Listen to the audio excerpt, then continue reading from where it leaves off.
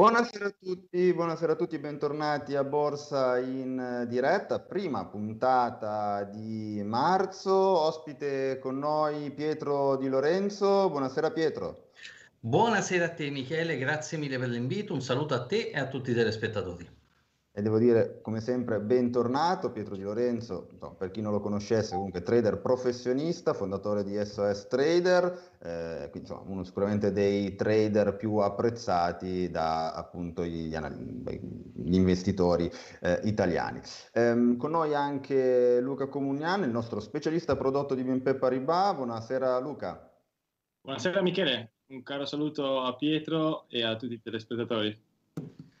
Allora, abbiamo visto oggi insomma, una settimana che si è aperta particolarmente bene, in positivo, sia per quanto riguarda l'Europa, abbiamo visto anche insomma, l'apertura americana eh, assolutamente in forza. Ovviamente abbiamo con noi Pietro per cercare di fare un po' il punto della situazione, quindi capire no, che cosa possiamo aspettarci eh, nelle prossime settimane e come soprattutto operare su questi mercati che comunque insomma, presentano no, una certa eh, volatilità o comunque fasi rialziste e ribassiste, quindi diciamo, magari non troppo direzionali in questa, in questa fase. Eh, come sempre vi ricordo, mi raccomando, approfittate della presenza dei nostri ospiti, quindi fate eh, fate domande, scriveteci, io vi do come sempre la mia mail personale, quindi michele.fanigliulo.it, se ci scrivete in diretta la, la, tengo d'occhio, quindi assolutamente vi rispondiamo, o in alternativa sapete che abbiamo un doppio appuntamento, il lunedì borsa in diretta 17.30 e poi il venerdì flash mercati alle 9.30, quindi se non riusciamo a rispondervi comunque insomma troviamo il modo eh, per rispondervi nella opportunità, nella, nella puntata diciamo successiva, eh, oppure in alternativa potete andare anche sul sito di Finanza Online, trovate trovate proprio in home page la, la, la casella diciamo, da cliccare per mandare direttamente la domanda sempre eh, a noi. Prima di partire con la puntata, come sempre, facciamo un po' no, il punto della situazione, il punto di partenza con Alessandro Pio che ci spiega che cosa è successo nella scorsa settimana.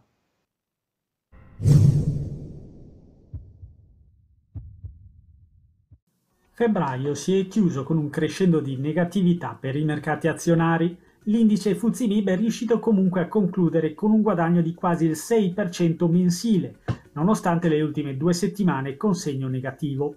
A impensierire l'indice delle blue chip italiane l'onda del rialzo del rendimento del treasury statunitense, ora in parte affievolitasi, ha lasciato spazio a un'apertura in deciso rialzo della nuova settimana. In vetta al Fulsimib ha staccato tutti Tenaris, che ha festeggiato con un rialzo di quasi il 20% i conti e le previsioni ben superiori alle attese. La società del settore oil ha proseguito nel movimento al rialzo anche nella prima seduta della nuova settimana. Ben più magri i rialzi delle altre migliori 5 azioni del listino, con solo Telecom Italia ad agguantare un 4% di rialzo, anche in questo caso merito dei risultati e del piano 2021-2024. Contraltare del balzo di Tenaris, in fondo al listino si è posizionata un'altra compagnia del settore oil, Saipem, con un ribasso di oltre il 9%. Gli analisti hanno bocciato la decisione della società di non diffondere la guidance sul margine operativo lordo 2021 a causa dell'elevata incertezza sui mercati. Male anche ST Microelectronics, insieme a tutto il settore tecnologia globale, sulle aspettative di una ripresa delle attività man mano che le vaccinazioni contro il Covid-19 proseguono. Tra i principali listini del vecchio continente solo l'Ibex 35 è riuscito a strappare il segno positivo nel corso della settimana passata, con un guadagno di quasi un punto percentuale. A Madrid le prospettive di riapertura dell'economia hanno spinto alcuni indici legati al settore dei viaggi come IAG, la holding che controlla Iberia. Allineati al ribasso invece Fuzimib, DAX e CAC 40, mentre Londra ha fatto peggio di tutti. E oltre Atlantico, che va però cercato il colpevole della tensione scaricatasi sui mercati azionari nel corso dell'ultima settimana. L'effetto dei timori su una possibile accelerazione dell'inflazione hanno spinto i rendimenti del Treasury e spinto gli investitori a vendere i titoli che hanno corso di più, quelli tecnologici, non a caso è stato il Nasdaq Composite a perdere in maggiore misura rispetto ad S&P 500 e Dow Jones Industrial. Visto nella prospettiva del rally degli indici statunitensi inaugurato a marzo dello scorso anno, l'arretramento della passata ottava non sembra essere preoccupante, anche perché la dinamica rialzista dei rendimenti sull'azionario si è raffreddata. Anche il mercato valutario mostra i segni delle tensioni sul mercato dei bond con il dollaro in rialzo nei confronti delle principali valute e in particolare contro il dollaro australiano. L'Ossi è stato frenato dall'intervento della Reserve Bank of Australia che ha raddoppiato gli acquisti di titoli di Stato per fermare anche in questo caso il rialzo dei rendimenti obbligazionari. Sul mercato dei bond netto il calo di valore del Treasury superiore al punto percentuale solo moderato dalle parole di Jerome Powell a metà settimana. Il rialzo dei rendimenti è interessato anche ai titoli di Stato europei. Lo spread tra BTP e Bund si è riportato oltre quota 100 punti.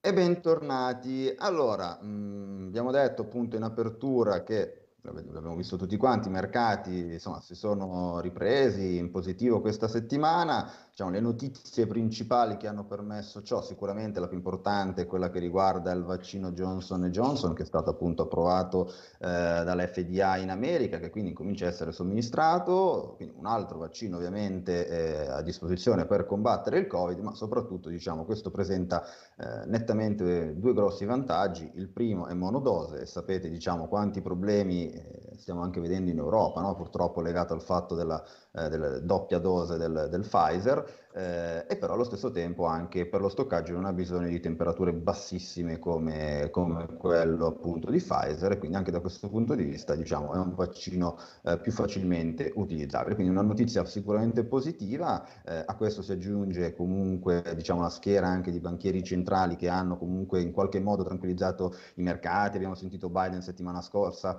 eh, scusate, eh, volevo dire Banca Centrale Americana, settimana scorsa perdon, volevo dire poi questa settimana invece, questa mattina proprio, la Banca Centrale Australiana eh, che ha, ha, incrementato gli acquisti, quindi del quantitative easing, quindi anche quello eh, positivo, e poi, eh, e poi, anche per quanto riguarda l'Europa c'è stato il banchiere centrale greco che ha detto che comunque per appunto evitare un rialzo dei tassi bisognerebbe incrementare anche qui gli acquisti. Quindi diciamo di, di fatto le banche centrali stanno confermando un po' ovunque eh, il sostegno e il fatto di non voler modificare in alcun modo, almeno per il momento, insomma, le politiche monetarie accomodanti, questo è chiaramente uno degli aspetti più importanti, no? come l'abbiamo, l'abbiamo, detto in tutte le lingue, in tutte le salse, quindi eh, questo è sicuramente positivo. Davanti avete un grafico dei rendimenti del decennale americano che invece appunto è stato il protagonista eh, la scorsa settimana, no? ha portato invece volatilità perché a un certo punto, come sapete, è stato infranto anche il livello del, del rendimento di 1,5% del decennale americano che è un po' una soglia psicologica che ha allertato eh, i mercati. Siamo tornati al di sotto, eh, vedete però, faccio notare, magari può servire anche come l'ape alla discussione a Pietro, poi vediamo cosa ne pensa lui. Faccio notare che comunque i due massimi sul rendimento non presentano divergenza, quindi questo potrebbe anche voler dire che in questo momento stiamo scaricando eh, gli oscillatori, potremmo ancora vedere un po' di tensione verso l'alto, però adesso questo ovviamente è statistica, o meno come funzionano, poi non è detto che si verifichi, però secondo me è anche una cosa interessante.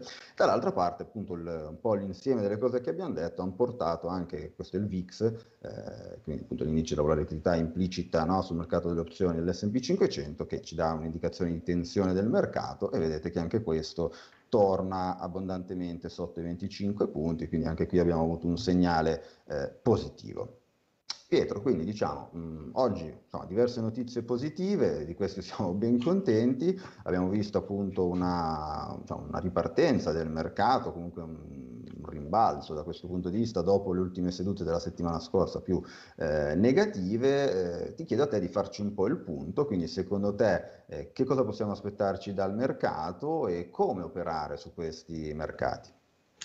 Guarda Michele, penso che inizio del mese migliore di questo non si poteva auspicare. La cosa uh, peculiare è che se fai caso gli ultimi sei mesi uh, a Piazza Affari si sono tutti chiusi con il primo giorno del mese, cioè il primo giorno di quotazione dei, dei mercati, quindi non è certo. necessariamente il primo, il primo, del mese, perché alcuni mesi chiaramente se c'è il sabato e domenica iniziano a quotare il 2 o il 3, ma in ogni caso la prima giornata del mese per, la, per, il sesto mese consecutivo si, chiude, si apre in positivo, cioè eh, negli ultimi sei mesi il primo giorno è stato sempre positivo. Questo fra l'altro ne parlavamo anche fuori onda è un, in un libro famoso di Larry Williams eh, che è The Secret of the Market, lui parlava di questa peculiarità del primo giorno del mese che ha un'attitudine rialzista se ci sono particolari condizioni e quindi si conferma un primo, me- un primo giorno del mese mh, positivo.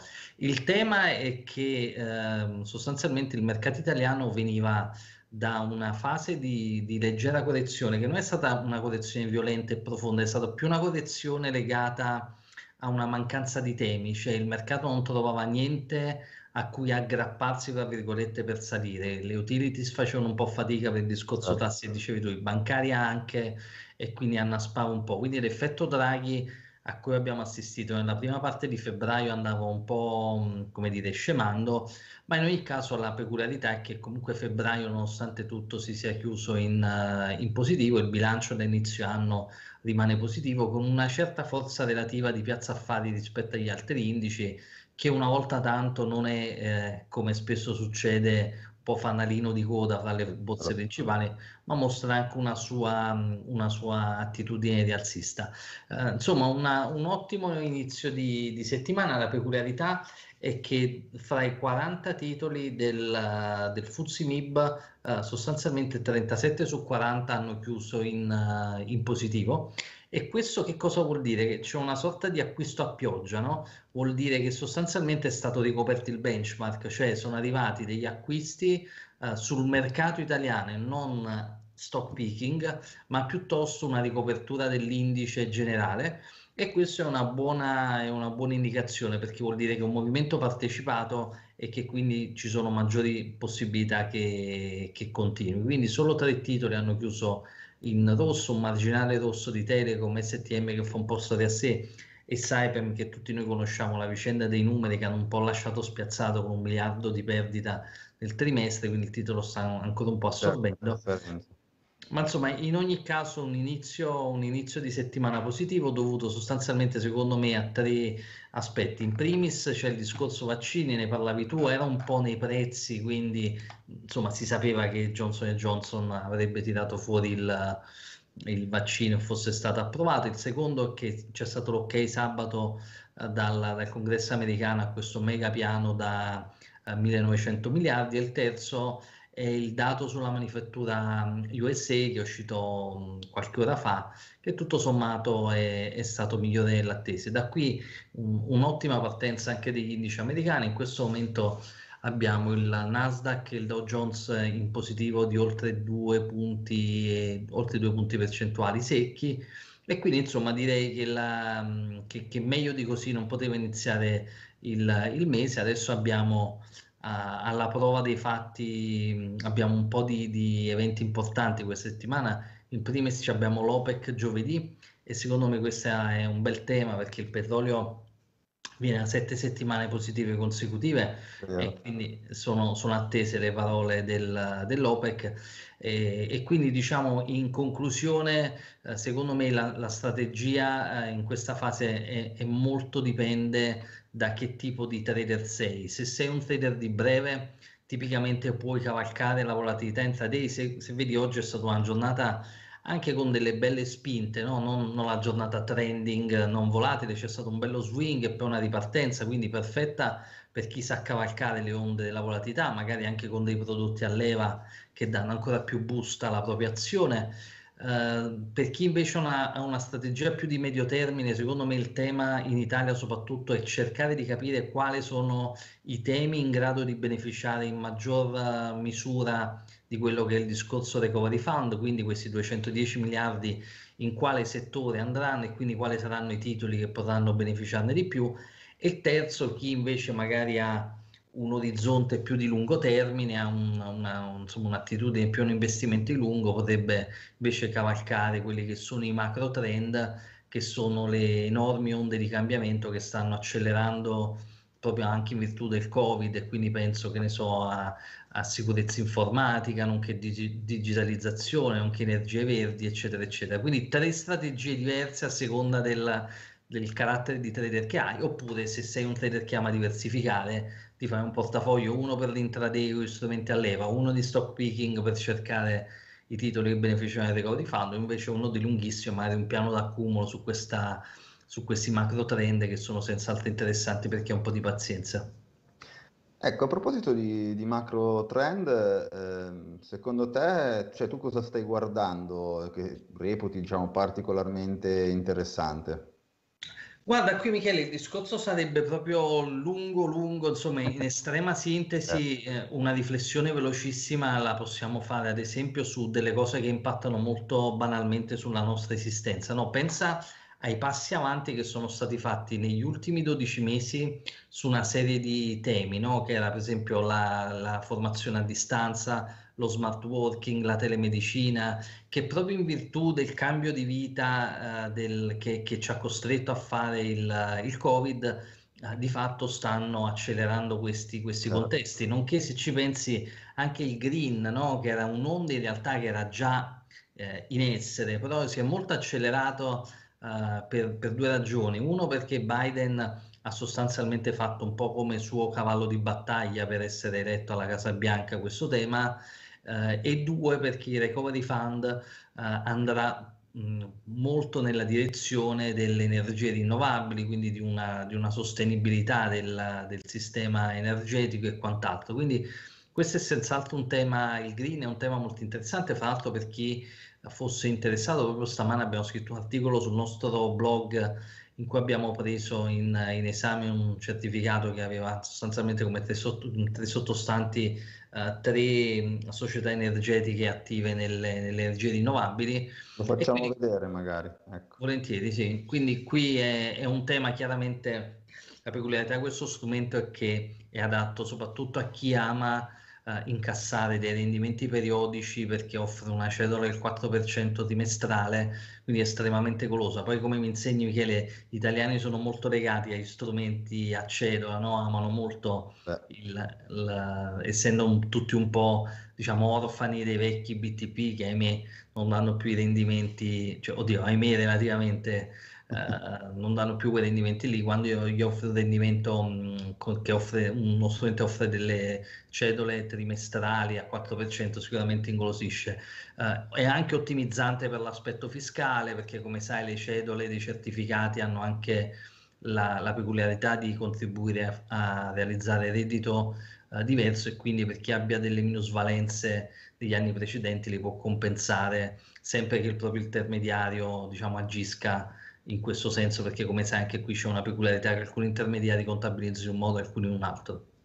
Certo, tra l'altro vedevo, tu scrivevi giustamente il certificato in que- nelle conclusioni finali, no? sto leggendo, il certificato in questo momento si acquista sotto la pari in quanto i due sottostanti, Gamese e Vestas, sono di qualche punto percentuale sotto il livello di strike iniziale, effettivamente questo qua è il prodotto in realtà insomma è già un bel 2%, no? di fatto già solo sulla lettera, quindi evidentemente è sceso ancora un po' il, il prezzo del, del prodotto, quindi, quindi, da questo punto di vista tu dici questo è un buon modo per eh, investire su un macro trend di fatto, giusto? Uh, un tema di investimento di lungo periodo con un prodotto diciamo che ci dà eh, un po' più di resilienza magari alla volatilità, nel senso che poi durante la vita del prodotto diciamo non ci preoccupiamo più di tanto di che cosa fanno eh, i titoli, eh, e incassiamo comunque delle cedole che per questo prodotto, se non ricordo male, era il 4%. 4% trimestrale, sì, la peculiarità del prodotto adesso è che hanno una protezione al 70% dello strike.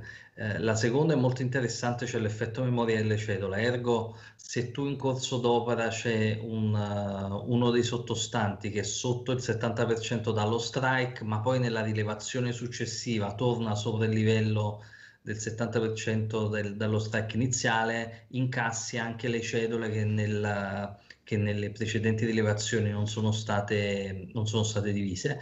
E poi chiaramente lavoriamo su sottostanti che hanno un certo standing, chiaramente sono volatili, ma il fatto che il prodotto abbia una scadenza piuttosto lunga e, e quindi le barriere discrete, tutto sommato, lo rende un prodotto certo eh, chiaramente con chi ha una peculiarità, una propensione a rischio alta, ma insomma tutto sommato un prodotto interessante se come io credo il tema delle energie rinnovabili è un tema che da qui ai prossimi anni sarà senz'altro cavalcato agli operatori. Certo, diciamo anche perché è una scommessa che non possiamo permetterci di perdere, no? perché di fatto sarebbe l'ultima Quindi sicuramente il tema delle rinnovabili è per forza di cose insomma, un tema importante anch'io devo dire che sono abbastanza positivo sul, sul settore. Come dicevi te, sono sicuramente tre titoli eh, diciamo, volatili, come lo sono tutti i titoli di questo settore, perché chiaramente sono insomma, molto acquistati, venduti, insomma, quindi si muovono parecchio. Eh, però sicuramente è un settore che insomma se pensiamo tra due o tre anni, questa scadenza vedo 29 gennaio 2024, 24, è probabile sì. pensare che comunque que- il settore, quindi anche questi titoli saranno probabilmente su nuovi, su nuovi massimi. Poi magari dopo faccio vedere anch'io, ho fatto un'analisi sulla correlazione, la volatilità, un po' di tutti i certificati di cui farò vedere, perché secondo me è anche bene poi sempre far vedere tutto eh, nei dettagli. Eh, però magari, ecco Pietro, non so se volevi aggiungere altro, se no chiamo Luca. No, io sono, sono, qua, se ci fosse bisogno di me o arrivasse qualche domanda ai telespettatori sono ben non felice di rispondere. Anzi, assolutamente, magari partecipa con noi così arricchiamo anche la parte dedicata ai certificati. Eh, Luca, mi senti? Ci sei? Sì, eccoci. Perfetto. Vabbè, abbiamo diciamo, Pietro appunto che insomma, è, è, oltre ad essere un, insomma, un, bravo trader, lui è anche esperto e utilizza anche molti certificati, quindi diciamo, riesce anche a dare eh, una view su questa tipologia di prodotto, ci ha parlato no, di una delle tue ultime missioni, cioè delle ultime missioni di BNP Paribas, che è questa qua sui Memory Cache Collect. Ehm, io oggi volevo far vedere, perché poi di fatto la, la fase correttiva che abbiamo avuto nell'ultima decina di giorni, comunque insomma tendenzialmente di debolezza, ha permesso anche un po' tutto il mondo dei certificati di scendere eh, sotto la pari, quindi ci sono diverse possibilità interessanti, di cui questo ovviamente è, è un caso, ma non è l'unico, e quindi ho fatto un po' una selezione. Siccome vorrei parlare di Memory Cache Collect, mh, mm, Airbag e premi fissi, perché è lì che ho trovato, secondo me, insomma, le cose più interessanti, magari ti chiederei ecco, di farci un po' eh, per essere sicuri che tutti quelli che ci ascoltano poi capiscono bene di che cosa stiamo parlando, se ci spieghi un po' appunto oh, che cosa sono i memory cache collect, che di fatti insomma per voi di BNP Paribas è un po' il modello base no? quando si parla di cache collect, perché più o meno tutti, però correggimi se sbaglio, hanno effetto memoria e autocollability eh, e poi invece insomma si va su prodotti, su strumenti più sofisticati no? fino ad arrivare appunto all'airbag. Prego. Sì, certo. Uh, come, come, come, dicevi tu, insomma, noi sulla parte di uh, memory uh, cache collect, piuttosto che la famiglia dei cache collect in generale, siamo tra i principali emittenti sul mercato italiano, Michele. E, e quando parliamo di cache collect, forse puoi andare avanti un po' di slide così ci possiamo anche fare. Eh, sì, sì, vai avanti pure dove c'è una slide abbia, dove abbiamo tutti i tipi di cache collect. Qui sono slide un po' più di dettaglio, eccola qua eh, il mondo insomma, dei cash collector eh, è di fatto oh, vario perché poi possiamo appunto andare a tra virgolette giocare su alcune delle caratteristiche a seconda proprio del momento di mercato, eh, ma queste qui evidenziate su, sulla slide sono tra le principali, tra cui quelle che anche nominavi tu, quindi la parte eh, di memory cache collect, che di fatto sono dei cache collect molto semplici, eh, però sono caratterizzati dall'effetto memoria. Eh, abbiamo emesso proprio l'ultima gamma il 16 eh, febbraio, metà febbraio comunque, e eh, sono dei prodotti a tre anni, tra l'altro quello che, di cui si parlava prima fa parte proprio di questa gamma di 13 eh, prodotti che abbiamo emesso. Certo e, e l'idea di base è quella di avere un prodotto che, ha, eh, che investe in azioni, in un, ba- in un, paniere di azioni, sono tra eh, panieri di due e tre azioni a seconda de- del prodotto poi, e, um, hanno dei coupon trimestrali, quindi premi trimestrali con, con effetto memoria. Ad, eh, oltre a questo, uh, come funziona? Diciamo, c'è un livello barriera, quindi il tema è uh, investo in un prodotto che mi dà un'esposizione a un paniere di azioni, eh, la maggior parte dei nostri prodotti sono settoriali, come ad esempio quello che vedevamo prima sulle, sulle clean energy, eh, con una barriera che è posta nella maggior parte dei prodotti al 70%, ne abbiamo anche messo uno che è quello sulle airlines invece che ha barriera al 60%. Quindi quello è un po' il, il, diciamo, la base di riferimento perché qualora tutte le azioni eh, che compongono ciascun paniere siano sopra quel livello, si avranno i premi trimestrali. Grazie all'effetto barriera, se questo non fosse vero in qualsiasi trimestre, il premio comunque non è definitivamente perso perché si potrà eh, recuperare in qualsiasi momento in futuro qualora poi nelle date di valutazione trimestrali si arrivi alla condi- o anche a scadenza, alla fine si arrivi alla condizione che i sottostanti siano al di sopra eh, della barriera. A scadenza, dopo i tre anni, tra l'altro, Michele, c'è una, oltre diciamo così, alla corrispondenza del premio, certo. c'è anche un'altra caratteristica importante rispetto a un investimento diretto sull'azione, che eh, è la protezione cosiddetta condizionata del capitale a scadenza. Quindi, se anche le azioni avessero perso del, del terreno insomma, a scadenza, eh, entro però il livello della barriera, che quindi è eh, il 70%, lo ripetiamo, o il 60% rispetto ai corsi attuali nel momento in cui sono stati creati i prodotti, a quel punto eh, non solo riceviamo il premio, ma anche proteggiamo il valore nominale del certificato a 100 euro. Quindi di, base l'investimento in un cash collect è volto a ad avere dei rendimenti periodici nella maggior parte delle nostre nu- ultime nuove emissioni trimestrali, eh, rendimenti che possono andare a seconda del paniere che si sceglie ehm, dal 6-7% annuo fino anche arrivare appunto con, nel caso dei sottostanti più volatili o dei settori più volatili a oltre il 15% e ad avere un rendimento eh, quindi di questo tipo oltre alla protezione condizionata del capitale a scadenza. Questo è il caso uh, dei, dei, memory. Certo. Eh, ci sono appunto anche altri tipi di prodotto come eh, sempre restando però nell'ambito dei cash collect, come gli airbag. Gli airbag funzionano uh, esattamente come i memory, tant'è che anche loro hanno l'effetto memoria sui premi, uh, ma a scadenza entra in gioco anche l'airbag. L'airbag vuole essere un'ulteriore protezione eh, nel caso in cui i sottostanti scendano al di sotto della barriera. Quindi parlavamo prima di barriere poste al 70-60%, cosa succede nel caso eh, si vada sotto quel livello, quindi c'è uno storno di mercato che poi a scadenza, quindi comunque fra tre anni, eh, ci troviamo sotto quei livelli. Nel caso di un memory classico ehm, si andrebbe a ricevere una performance diciamo commisurata alla performance dell'azione del paniere che performa peggio.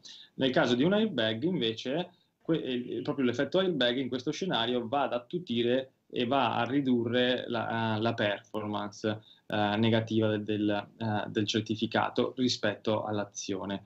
Come funziona? Molto semplicemente c'è un fattore airbag che nell'emissione di gennaio era di, eh, diciamo per semplicità, arrotondando 1,43, lo si vede in questa slide, eh, si va a prendere quello che è nel caso in cui quindi siamo sotto il livello barriera a scadenza, immaginiamoci che l'azione quoti il 50% del, del suo valore iniziale o, o comunque a un, un valore eh, inferiore a quello che è il 70% che è la barriera, si va a moltiplicare quel valore lì per il fattore airbag, quindi per 1,43. E dalla tabellina appunto della slide si può vedere quindi che a fronte di un 60%, quindi di un meno 40 dell'azione, il certificato rimborserebbe 86 e quindi eh, a fronte di una performance di meno 40 noi andiamo a ridurre questa performance negativa del certificato a meno 14.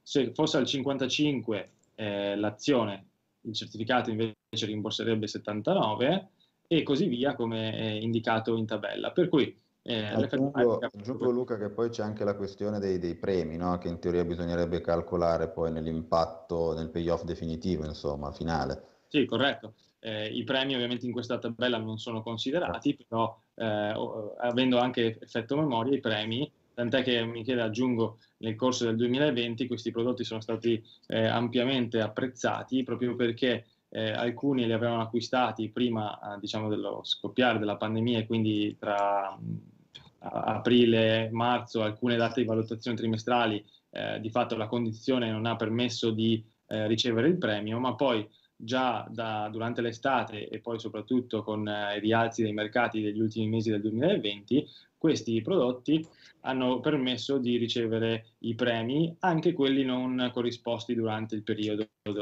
appunto più, più buio, più nero dei mercati tra marzo ed aprile. E quindi sicuramente dei prodotti che eh, in fin dei conti eh, permettono uh, di uh, cavalcare dei mercati che sono laterali o uh, moderatamente ribassisti o rialzisti. E questo ovviamente permette anche di gestire quelli che sono eventuali shock o volatilità di mercato temporanee. Certo. Proprio perché quando ci si trova in, in, una fase di questo tipo può anche essere che alcuni eh, premi trimestrali non siano pagati, ma grazie agli effetti memoria appunto poi c'è sempre la possibilità di andare a recuperare il rendimento non corrisposto in, in alcune delle date. Ok, e invece i premi fissi? Perfetto. L'altro che avevi citato sono appunto i premi fissi, li, tro- li troviamo qui. I premi fissi, eh, come dice la parola stessa, sono dei uh, cash collect uh, semplici, uh, però appunto premi fissi nel senso che non c'è la condizione che eh, che deve essere rispettata negli altri casi di cui abbiamo appena discusso. Non è necessario che i sottostanti siano al di sopra della barriera, in questo caso la barriera ha un senso solo a scadenza perché i premi trimestrali vengono corrisposti a prescindere da che si, quello che è l'andamento dei sottostanti durante la vita del, um, um, del, del, certificato. Ovviamente non avendo condizione, anche qui per dare un po' la sensibilità no, di come girano poi i prodotti, è chiaro che se non c'è nessuna condizione magari possiamo aspettarci dei premi più eh, contenuti, in quanto il certo. nostro grado di rischio eh, si, si, riduce. Nel caso invece dei prodotti che hanno un premio condizionato, i premi eh, possono essere più, più, generosi. In questo caso però la, la, l'aspetto negativo, eh, scusate, l'aspetto positivo è che ehm, non c'è nessuna condizione, noi abbiamo i nostri premi trimestrali, eh, proprio come nel caso di un'obbligazione, eh, durante la vita del certificato. A scadenza invece si ripete esattamente lo stesso identico schema, eh, dove eh, c'è una protezione del capitale qualora il sottostante eh, sia al di sopra o pari alla barriera, oppure questi non hanno l'effetto airbag, quindi si va a ricevere la performance negativa commisurata al sottostante. C'è un'altra cosa, Michele, prima di ripassarti sì. la parola che va detta quando parliamo di questi prodotti, e credo che tu possa girare la slide successiva, eh, che è l'effetto step down. Certo. Questi prodotti, oltre ai premi fissi, si differenziano perché hanno l'effetto step down. Cosa vuol dire? Eh, I memory cash collect eh, di febbraio, come anche gli airbag di gennaio, um, emessi a gennaio, hanno la possibilità di scadere anticipatamente a partire dal sesto mese. Eh, e per ogni trimestre c'è questa possibilità. In quel caso il livello quindi la condizione affinché possano scadere anticipatamente è che siano tutti al di sopra, che tutto il paniere sia al di sopra eh, del, eh, del, valore iniziale dei sottostanti. Perché? Eh, diciamo, oltre a ovviamente ragioni di, di, strutturazione dei prodotti, il tema qui è anche che eh, nel caso in cui ci sia un, un rally di mercato, comunque il mercato abbia un trend chiaramente rialzista, il il, il, certificato permette di avere il rimborso e di quindi dare eh, opportunità di smobilizzo del, del, prodotto proprio perché comunque non eh, segue uno a uno quello che è l'andamento certo. eh, dei sottostanti al rialzo e due anche perché da un certo punto di vista può essere visto come appunto un take profit. Eh, abbiamo, abbiamo, acquistato il prodotto, c'è stato un momento di mercato positivo, i sottostanti sono tutti saliti, io posso avere le risorse oltre ai miei uh, risorse investite oltre appunto al premio trimestrale per poter andare a vedere nuovi eh, investimenti e comunque allontanarmi dalla scadenza finale dove magari posso avere in qualche maniera, passami il termine, la sfortuna che ci sia un crollo dei mercati in quel momento e quindi ehm, arrivare ad essere sotto il livello di barriera a scadenza. Diciamo che così abbiamo più opportunità di liquidare con successo il nostro investimento. Nel, nel caso degli step down e quindi dei premi fissi che stavamo raccontando, il livello per il rimborso anticipato non è sempre al 100% a ogni data di valutazione trimestrale, ma addirittura viene agevolato. Quindi il, il sesto mese è al 100% come per gli altri, ma poi di trimestre in trimestre si va ad abbassare di 5% a ogni valutazione quindi passerà al 95, al 90, 85, 80, 75 per arrivare poi a scadenza che coincide con il livello barriera eh, che sarà al 70. Quindi di fatto la caratteristica step down va a rendere più facile è più probabile la possibilità di questi prodotti di scadere anticipatamente e di pagare il premio trimestrale e gli eventuali premi con memoria, appunto, perché anche questi hanno l'effetto memoria. Certo, infatti mi pare di vedere che questi prodotti qui sono forse anche quelli un po' meno sensibili alla volatilità, no? Cioè scendono un po' meno nelle fasi di volatilità proprio perché sono, penso, molto, molto difensivi.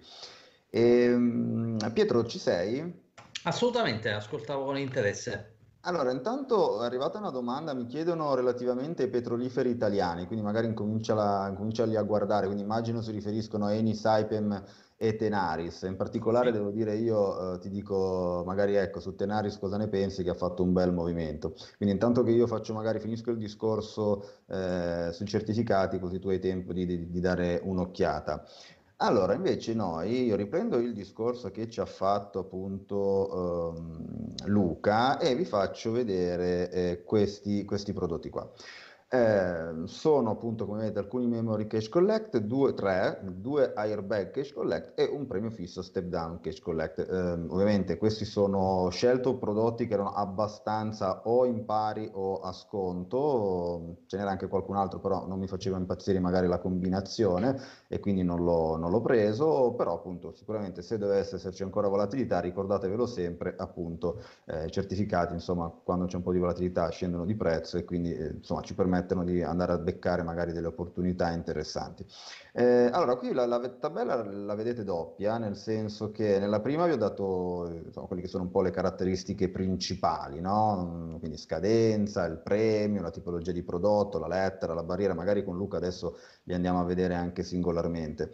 E invece sotto vi ho messo sempre gli stessi prodotti, però vi ho fatto un discorso diverso che penso che sia comunque che possa essere interessante, cioè mi sono andato a vedere la correlazione del basket e la, volatil- la volatilità implicita dei sottostanti. Per andare a vedere un po', diciamo, in base anche a quello che è la, nostra tipologia di, di, cioè il nostro essere investitore, no? C'è chi magari ha un approccio un po' più speculativo e c'è chi invece ha un approccio molto più conservativo. Quindi, diciamo, la, l'idea della seconda parte della tabella era evidenziare eh, tra tutti questi prodotti che abbiamo selezionato, tra cui c'è anche quello eh, del buon Pietro, eh, quelli più conservativi e quelli un po' diciamo più aggressivi. Eh, e di fatto vedete come spesso diciamo, c'è no, anche una, una, correlazione forte tra il premio e ovviamente il rischio del, del, prodotto, ma questo è normale, sui mercati purtroppo è così, no? si sa, maggiore rendimento, maggiore rischio, maggiore rendimento e viceversa. Eh, allora, il primo eh, è quello appunto di cui ci ha parlato abbondantemente Pietro, che appunto ha un premio veramente molto alto, perché un 4% trimestrale e eh, a sconto con una barriera del 70%. Devo dire qui il basket, ero curioso di andare a vedere anche perché sono tutti e tre titoli no, delle, delle, rinnovabili, però in realtà la correlazione non è molto forte in questo basket. Ora, qual è il punto della correlazione? Luca ovviamente eh, intervieni quando vuoi o aggiungi, che sicuramente insomma, tu conosci questi prodotti meglio di chiunque altro. Eh, diciamo, mh, il concetto di correlazione è importante eh, perché ovviamente eh, diciamo, maggiore è la correlazione tra i titoli di un basket eh, e di fatto minore il rischio di quel basket, cioè, quindi di quel certificato. Perché? Perché più sono correlati i titoli e più è difficile che uno dei tre titoli diventi il worst of, no? cioè parta per la tangente, per la sua strada, rovinando poi quello che è il payoff no? finale del, eh, del, prodotto e quindi la performance insomma, del, del, prodotto, andandoci magari a prendere la barriera per capirci eh, a scadenza. Mm, viceversa, appunto, un basket eh, più debole, come ad esempio eh, il primo che vedete, quindi quello di eh, Siemens, Veolia e Vestas, eh, una correlazione più debole invece ovviamente potrebbe portare con una maggior probabilità, perché sempre di statistica e di probabilità che se ne parla, eh, a appunto avere un certificato, un, uno dei sottostanti che se ne va per la sua strada e quindi ci mette magari in difficoltà il paniere. E ovviamente eh, maggiore, maggiore, la correlazione, più costa quell'opzione e quindi minore sarà il premio e viceversa. Quindi questa è un po' l'importanza della correlazione che va, va capita e va conosciuta quando si lavora sui certificati. Quelli worst off si ragiona così, eh, BNP aveva lanciato un'emissione invece di eh, equipesati e lì il ragionamento era un po' differente perché lì in realtà appunto eh, diciamo eh, si, si, andava veramente a diversificare perché non c'era un ragionamento di worst off. Eh, e l'altro aspetto sicuramente importante quando si parla di opzioni, quindi anche di certificati che sono strutturati, no? costruiti su opzioni, eh, la volatilità implicita, comunque la volatilità è un tema molto importante, chiaramente più alta la volatilità più rischioso quel prodotto, però ci potrà rendere anche di più. Devo dire però su questo primo um, che qui effettivamente sì, una volatilità che è alta, però va detto anche che siamo su un tema di investimento particolarmente interessante di cui forse quella volatilità non è solo riferita al ribasso, ma insomma in generale anche un po' no, alle attese diciamo, di crescita del settore, quindi tendenzialmente essendo la scadenza lontana e come sapete questi prodotti in realtà poi l'impatto della volatilità no, per quel che ci riguarda è a scadenza, quindi alla, durante la vita certo ci può portare a, a, saltare qualche premio, però c'è l'effetto memoria, tendenzialmente dovremmo quindi recuperarli eh, i premi eh, nel corso di tre anni addirittura, quindi insomma di, di, tempo c'è. E invece a scadenza ovviamente l'impatto della volatilità sicuramente eh, è importante, ma questo è un settore, comunque un tema di investimento oh, che tendenzialmente dovrebbe essere sempre in crescita, quindi da questo punto di vista comunque secondo me è un bel, è un bel basket. Poi ovviamente noi vi diamo gli strumenti e anche voi ragionate un po' su quel che vedete. Altro certificato, altri due Memory Cache Collect sono eh, uno, come diceva appunto Luca, non sono tutti basket a 3, ci sono anche basket a 2 come NISTM, eh, qua NISTM vedete un premio del 3-3%, comunque interessante, anche qua infatti la correlazione è debole, e la volatilità è abbastanza medio-alta, quindi comunque tendenzialmente medio-alta è riferito, io l'ho fatto in rapporto al benchmark, quindi diciamo per i titoli americani l'S&P, per l'europei ho preso lo Stocks Europe 600, eh, eh, per stare, perché appunto alcuni avevano anche titoli europei, non solo italiani, quindi per farla più, più, più facile. Quindi ovviamente maggiore la volatilità rispetto al benchmark e più mettevo che era alta la, la volatilità rispetto appunto adesso. E, e, quindi no, niente, vedete appunto NSTM, anche qui abbiamo un bel premio, perché questo è veramente un bel premio, il 3-3% trimestrale, anche qui è un prodotto a sconto, eh, scadenza sempre 29 gennaio del 2024 e qua abbiamo sempre un basket diciamo eh, con correlazione debole e una volatilità diciamo, medio-alta. Mm, altro prodotto che a me comunque piace questo sui tecnologici, due tecnologici cinesi, l'altro no, Siemens, e, e, ovviamente anche qua diciamo correlazione debole perché in realtà appunto c'è Siemens che non è molto correlato con gli altri e volatilità implicita tendenzialmente alta. Per chi invece volesse andare su prodotti appunto più conservativi eh, ci sono assolutamente, vedete i due in verde, eh, uno è un airbag che escolare, quindi conservativo anche in funzione proprio del fatto che c'è l'airbag, come ci ha spiegato bene eh, Luca, che ci difende anche diciamo, a scadenza appunto dalla volatilità, perché è lì che si vede no, l'impatto soprattutto della volatilità sul nostro certificato, BMW, Ferrari, Porsche, una, una, correlazione media, nel senso che BMW e Porsche sono correlatissime, Ferrari lo è meno perché sapete anche che Ferrari viene più visto no, come un titolo eh, del lusso e non, eh, non un titolo eh, automotive, quindi Ferrari è un po' meno correlata con gli altri due, però comunque tendenzialmente è una correlazione sopra lo 0,5 verso lo 0,6 anche per Ferrari, mentre le altre due sono sopra lo 0,80. La volatilità implicita qui appunto, devo dire, sono titoli meno volatili di quelli visti precedentemente, quindi a questo punto già siamo su un, prodotto più difensivo e poi l'altro, eh, forse il più difensivo di tutti, è lo premi fissi step down finale che vedete su, con Kering, Louis Vuitton e Moncler, tre titoli che tra l'altro a me piacciono molto, con degli ottimi fondamentali, tendenzialmente tutti i titoli che vedete qua come sapete io sono abbastanza attento ai fondamentali, cerco sempre di prendere eh, titoli che comunque hanno dei buoni fondamentali perché tendenzialmente comunque sono meno volatili nel loro settore di appartenenza ovviamente.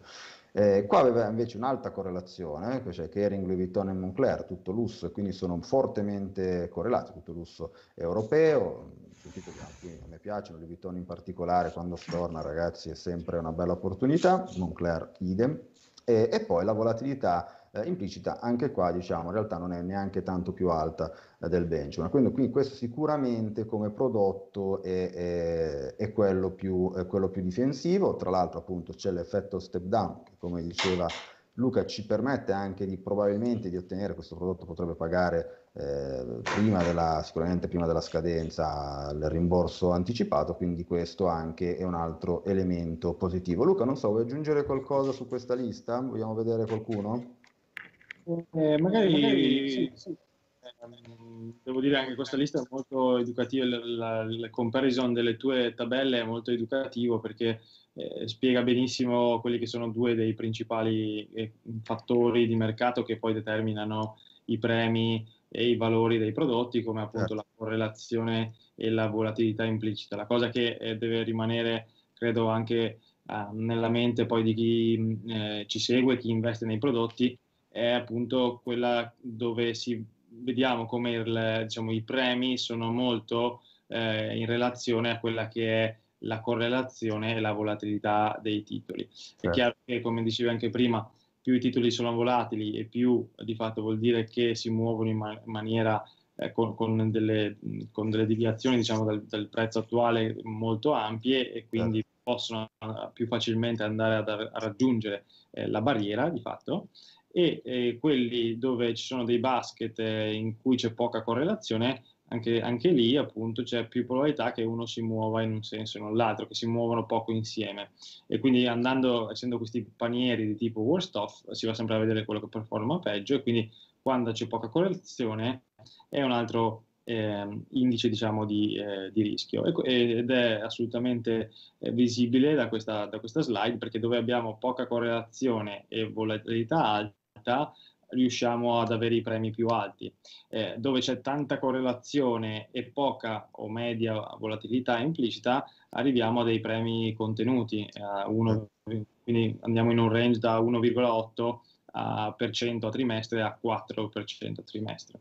Ecco, eh, in questo senso forse quello che mi sento di dire è che non c'è ovviamente un migliore o un pe- ah, peggiore, qui è un tema di eh, profilo rischio-rendimento che ogni, ogni investitore poi vuo, si vuole assumere. Altra... È importante conoscersi, eh, quella è la cosa fondamentale, quindi investire in base a quello che è il proprio profilo di, di rischio e rendimento. Altro, altro, fattore fondamentale, i sottostanti appunto, poi qui eh, ovviamente i prodotti hanno dei sottostanti che sono delle azioni delle società e quindi anche quello è ovviamente un, un fattore importantissimo quando si va a comprare un certificato perché appunto poi di base eh, deriva il suo valore da quello che è il sottostante, il sottostante. Quindi anche nel caso delle clean energy, appunto, dove c'è un grado di rischio più elevato a fronte di un premio del 4% trimestrale, bisogna poi considerare anche il settore delle clean energy o può essere il settore tech, eh, automotive, lusso, ne abbiamo alcuni qui, che, che ovviamente poi quelli, quelle che sono le aspettative su, su, questo settore andranno ad incidere ovviamente nel proseguio del, del prodotto e a scadenza del prodotto. Assolutamente. E quindi diciamo, noi come vedete, insomma, nella totale trasparenza vi facciamo vedere un po' tutte le caratteristiche perché eh, secondo me è proprio importante che ognuno di noi, in base al proprio profilo di rischio rendimento, de- scelga quelli che sono i prodotti, proprio la tipologia di prodotti e poi nel caso dei certificati anche di tipologia di certificato che più eh, si adatta a, insomma, al proprio profilo di rischio rendimento. Questo è, è fondamentale. Sicuramente io diciamo, quando faccio la selezione scarto tutta una serie di, di, di certificati che magari non mi convincono sui sottostanti, eh, perché chiaramente appunto sottostanti magari con fondamentali deboli possono ecco, portare a premi più alti, però diciamo, il rischio poi secondo me non vale tantissimo la candela. Qui avete invece tutto sommato dei prodotti comunque dei buoni, con buoni fondamentali, penso che anche Pietro non abbia, penso, insomma, da ridire sui, sotto, sui titoli singoli e poi ovviamente poi in base al proprio profilo di rischio rendimento uno sceglie dove, dove andare a parare. Eh, Pietro, sì, Michele, è molto interessante le cose che avete detto perché è proprio il sale dei, dei certificati, no? I tre requisiti che rendono interessante un certificato sono chiaramente sottostante con un eventuale dividendo, correlazione fra gli indici del, di un worst off di di un paniere e chiaramente mh, la volatilità implicita degli ogni sottostante. Eh, se ci pensi, eh, gli emittenti non è che possono fare magie, no? lavorando su queste tre variabili riescono a impacchettare un prodotto che, che è interessante, ma il tema secondo me l'hai colto tu, eh, è, è il sotto, si parte sempre dal sottostante per quanto mi riguarda. Eh, la struttura del, del certificato è, un, è, una cosa che si va a guardare in un secondo momento perché mm. se l'intuizione è corretta eh, va solo valorizzata col prodotto giusto, se l'intuizione ahimè è scorretta, eh, per quanto il prodotto sia conservativo, è quasi inevitabile che poi il risultato non arrivi. Quindi il, la selezione dei sottostanti è secondo me la, la, la, cosa numero uno. Rispetto invece alla domanda che mi facevi sugli energetici, il tema in particolare su Tenaris, il tema è questo, um, ci vuole un bel pelo sullo stomaco entrare su un titolo dopo che ha guadagnato il 19,60% nelle ultime 5 sedute. Uh, I risultati sono stati evidentemente sorprendentemente positivi e quindi il mercato mh, ha immediatamente premiato il titolo. Detto ciò, personalmente su un titolo che si è apprezzato del, del 20% negli ultime 5 sedute ho un po' di reticenza a entrare per ovvie ragioni, no? perché tipicamente è un titolo eh, tirato su cui le prese di profitto sono, sono imminenti. Quindi eh, i numeri sono stati buoni, l'idea del, um, insomma, di, di, un titolo possa solo performare c'è, però onestamente aspetterei uno storno è preferibile, secondo me mi aspetto adesso una fase di consolidamento sotto i 9 euro per scaricare anche un po' di eccessi e poi da lì bisogna avere l'abilità di entrare in un punto ottimizzante in termini di, di rischio rendimento certo. che ti consente anche un comfort del trade migliore, no? Perché parliamoci francamente, se tu entri adesso tipicamente sei già un po' in sofferenza temendo che le prese di profitti scattano esattamente quando sei entrato tu e quindi già come comfort operativo non è il massimo. E tu mi insegni che vivere bene il trade, cioè vivere con uno stato emotivo sereno l'operazione è un prerequisito per rimanere a lungo sui mercati, sia in termini diciamo di stress, sia in termini anche economici e quindi è importante insomma anche avere un buon market timing che ti consente di fare un trade più sciolto rispetto a un trade in cui sei molto contratto. Certo, e invece Eni Saipem cosa mi dici? Ma guarda, su Saipem eh, i numeri mi hanno un po' lasciato interdetto. Eh, nel senso che effettivamente il titolo sta facendo molto bene.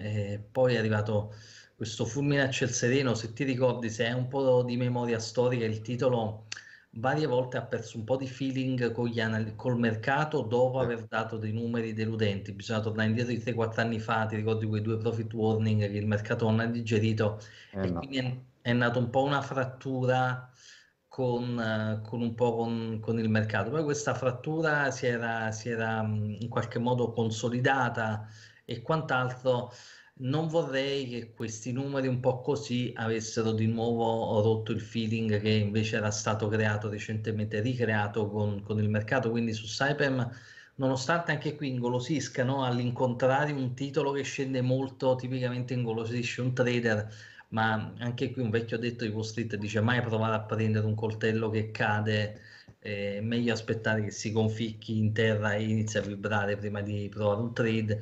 Più o meno mutatis mutandi stesso discorso, in questo caso eviterei di eh, comprare un titolo che ha una evidente debolezza relativa, aspettare un consolidamento. Su Eni invece il tema è, è, legato anche un po' all'andamento del prezzo del petrolio, qui come dicevo abbiamo l'evento price sensitive giovedì con l'OPEC, sarà una riunione importante e quindi eviterei di sfidare la sorte so. sì, comprando Eni sulla base di quello che è un, un evento price sensitive che sarà in grado di condizionare l'andamento dei prezzi quindi eh, probabilmente prima di giovedì in ogni caso lo liquiderei perché se no vai troppo a fare la gamblerata sulla, sull'attesa dell'OPEC e non è molto nelle mie corde fare questo tipo di, di trading quindi due diciamo hold su Tenaris e Cyber per motivi diversi e su Eni magari ci sta, però giovedì bisogna essere consapevoli che c'è un evento in grado di spostare in maniera violenta i prezzi. Sì, tra l'altro guardavo un po' il, il, grafico, non so se sei d'accordo con me, ma anche un po' no, questo movimento dal punto di vista della volatilità che si è un po' sottigliata effettivamente fa pensare no, al fatto che c'è una fase un attimo di attenzione del mercato in attesa insomma di, di info importanti. Chiaro, da shortare no, direi di no Michele perché anche qui il petrolio è troppo forte, mm, bisogna, bisogna evitare di shortarla per, per ovvie ragioni, ma da allungare adesso direi neanche. Sai, l'abilità spesso del trader è un paradosso, no? Ma spesso il trader migliore è quello che non fa e certe volte nel, uh, nell'indecisione è meglio non agire piuttosto che agire e scendere in campo solo quando effettivamente si ha una ragionevole certezza che il trade possa dare risultati auspicabilmente positivi. Ok, quindi comunque tu nel complesso uh, sui mercati insomma, sei, sei, positivo, no? Mi pare di capire. Eh, diciamo. Guarda, sul, merc- sul, mercato italiano sono molto più positivo rispetto a un mese fa. Mm.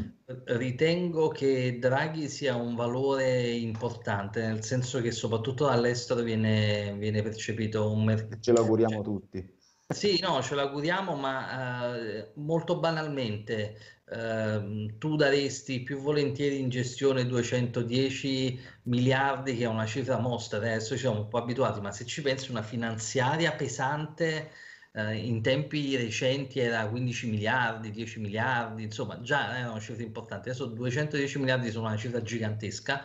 Io sono più sereno che siano nelle mani di Draghi piuttosto che di qualsiasi altro esponente politico, non ne faccio una questione diciamo di schieramenti politici, ma chiunque mi metti in, in contrapposizione a Draghi inevitabilmente perde. Ergo sono, sono, molto più fiducioso rispetto al passato e credo che il mercato italiano sia in grado di fare meglio rispetto al passato e, e, e uscire da questo ruolo di ultimo, uh, come dire, di un po' di maglia nera che ha un po' contraddistinto e, e potrebbe sorprendere nei prossimi mesi. E lo speriamo tutti, anche perché appunto, a parte i mercati, lo, come diciamo sempre, anche da italiani appunto, ci auguriamo tutti veramente eh, che si riesca a tirare fuori il moltiplicatore massimo da quei soldi che arriveranno dall'Europa perché ne abbiamo veramente eh, bisogno. Eh, Luca, vuoi aggiungere qualcosa in chiusura? C'è qualche altro tema di cui vuoi trattare? Uh, no, direi che è stato molto interessante, ringrazio anche Pietro per, per le, le, analisi e gli ottimi spunti. E, uh, noi abbiamo parlato di vari prodotti delle nostre gamme, Um, ricordo solo il sito, quindi investimenti.bnpparibas.it per andare poi, grazie Michele che lo stai facendo vedere, sotto la voce certo. certificati di investimento, cash collect, si possono trovare appunto tutti i prodotti di cui abbiamo parlato, ma anche poi il restante della gamma con altri, altri temi. Ad esempio, eh, ricordo solo sulla, sull'ultima emissione che abbiamo fatto, oltre al clean energy, avevamo toccato qualche altro settore, come ad esempio anche quello del pharma con AstraZeneca, che eh, anche dalle chiamate che riceviamo stiamo ricevendo particolare interesse, oltre che al, eh, al basket, ad esempio, su mercato assicurativo. Con, eh, quello piaceva anche a me, sì, ne abbiamo parlato se ti ricordi. Ah no, ne ho parlato io sì, settimana scorsa, se non ricordo male, di quello dell'assicurativo funziona come quello che dicevamo prima, paga un premio trimestrale del, del 2,80 e abbiamo anche quello, quello intendo su, sul pharma, quello invece su assicurazioni eh, 2,05, ovviamente anche qui eh, come vediamo il settore assicurativo ovviamente è un settore un po' più difensivo, c'è meno magari volatilità e quindi eh, il premio è al 2,05. Un settore particolarmente invece volatile è quello delle, delle airlines, che sta regalando varie soddisfazioni, anche gli ultimi rialzi, insomma, sono una prova, ed è anche quello un settore che è stato ovviamente massacrato, credo, nel, nel 2020 eh e che ovviamente aspetta, è lì che aspetta delle buone notizie, insomma, per ripartire, come è già in, in parte ripartito. E questo, è appunto, è anche qui paga un premio del 4.5 addirittura proprio grazie alla volatilità poi del, del settore e eh, stai facendo anche vedere la, tutta la lista per cui insomma sul nostro sito si può trovare la, l'intera gamma e l'idea è sempre quella di offrire quante più soluzioni possibili, esposizione a diversi sottostanti, settori e ovviamente diversi gradi di rischio rendimento appunto per soddisfare tutte le, poi quelle che sono le esigenze. E poi ricordo come sempre, insomma, spesso arrivano anche a me le domande e per carità io rispondo sempre insomma, in maniera più completa possibile, però eh, quando si parla di certificati io direi che il numero verde di, del sito 892 40 43 che vedete, loro vi rispondono subito, sicuramente ne sanno ancora più di me perché insomma sono, l'emittente sono loro, quindi possono rispondere veramente a qualsiasi domanda. Tra l'altro possono anche recepire vostri spunti e proposte per magari qualche basket particolare o qualche tipologia particolare di certificato, no? Perché Luca, anche da questo punto di vista siete sempre, mi pare di capire, attenti a eventuali esigenze. Sì, assolutamente, assolutamente. Tra l'altro rispondiamo direttamente dal, dal desk, quindi le informazioni sono assolutamente di primario ordine che poi si ricevono al numero e oltre al numero abbiamo anche per chi preferisse scrivere l'email che si vede sempre lì in alto, investimenti-bnpparibas.com eh, per qualsiasi domanda o esigenza. Insomma.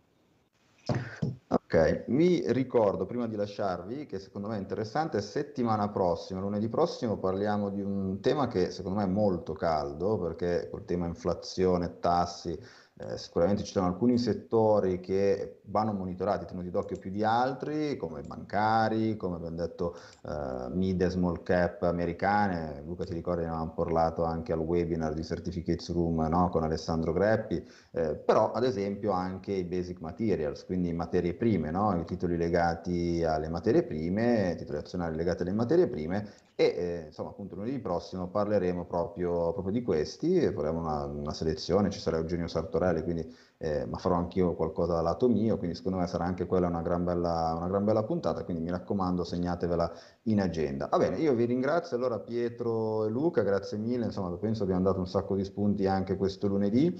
Eh, e come sempre mi raccomando veramente, mh, mm, cioè, scriveteci, fateci domande, commenti, tanto ci serve tutto per migliorare la qualità del programma e quindi per darvi sempre spunti più interessanti. Ecco, noi siamo sempre a vostra disposizione. Grazie a voi, buona serata. Grazie mille a te, un saluto a entrambi e buona serata. Buonasera a tutti e noi ci vediamo venerdì a Flash Mercati.